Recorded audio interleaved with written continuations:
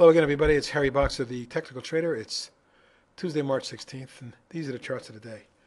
Um, alphabetically, as usual, starting off with Acme Packet, which we've been uh, high on since the big price volume breakaway gap here and following flag. The stock has moved from 13 to 1884 uh, today, jumping 92 cents or another 5%.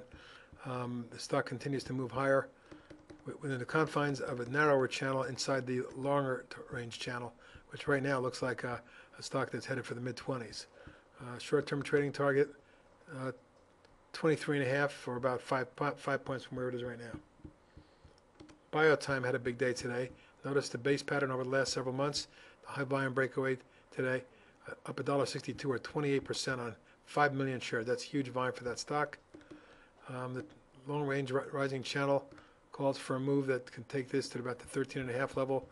Very big percentage gain over the course of the next few weeks potentially, but I'll give it a short-term trading target around nine, nine and a half.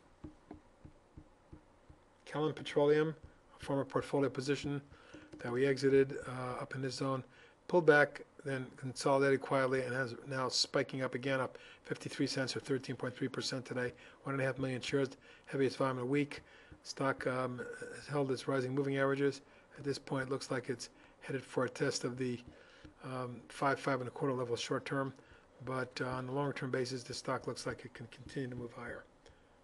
CVVT, China Valves Technology, broke out of the apex of a wedge two days ago, paused yesterday, and today um, popped uh, another $1.35 or 10% on, on nearly a million shares. You can see this cluster of volume and technical surging. The stock looks like it wants to tag the top of this channel up around the This is a 16, 16 and a half area, something of that nature, my short-term trading target, but this is at all-time high territory, and uh, this stock could accelerate and really start to move in this range. Las Vegas Sands, LVS, had a significant session today. Let's take a look at the overall pattern. The big move in July through September took it from about under 6 to over 20. The stock then went into a 5 or 6 month, um, about a 6 month consolidation base pattern uh, with multiple tops in the 1920 zone. Today, jumping $1.37 or 7.3% on 42 million shares.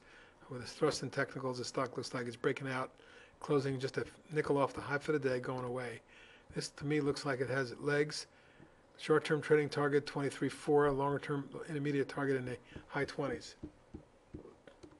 MAP Pharmaceuticals, um, is, is moving up to the retested January, February highs in his zone and appears to want to break out. It uh, reversed uh, dollar today, closed up 60 cents, and uh, the stock appears to have a potential of a short-term pop, which uh, could ride this one up to the high teens, maybe even 20, a short-term trading target.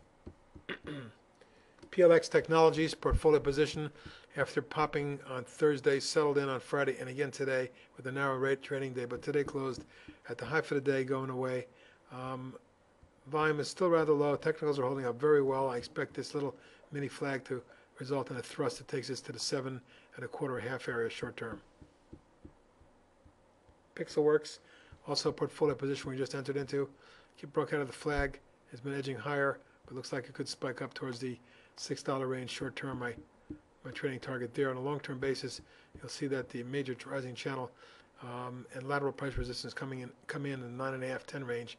That's more than a double from here, but we'll extend the six range with a secondary target about eight, um, and then a, a longer-term target in nine and a half, ten as indicated.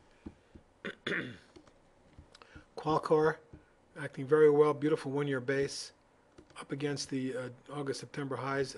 Um, flag just above them and then today spiked out of that flag, jumping 46 cents or nearly 7% on a million shares. That's the biggest volume in a week. Technicals look very strong. I think the stock could make it to seven three quarter range short term, maybe tomorrow or the next couple days anyway, and then looking for additional moves to take out the or test the December January highs up in the uh, $10 range.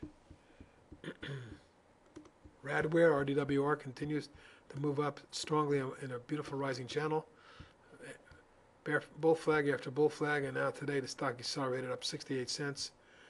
Um, on the biggest volume in, three weeks, looks like the top of the channel is um, beckoning at around the 20 and a half, 21 range. And then, well, let's just keep it a short-term trading target up around 21 and a half. Beyond that, um, you'll see that um, we're looking at targets in the 28 and 31 range back at the 0405 highs.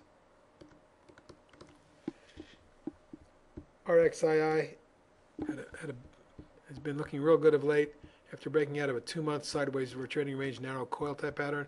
Volume popped, pulled back, reversed yesterday, had another update today, but more importantly, it's closing, uh, it closed at a new new closing high today, um, and uh, with somewhat some some resistance up around 715. You may see it uh, hesitate there, but uh, we have a target around ten dollars at the top of the channel on RXII. Pharmasset VRUS had a big day today, as you can see, breaking out of this trading range of several months with a price volume surge after the big run in May through September. That consolidation was healthy. But the price volume surge today up 240 or 10% on 570,000 shares, the heaviest volume in about four months, significant enough to maybe carry this stock higher uh, and test the um, 08 spike highs in the um, low to mid 30s.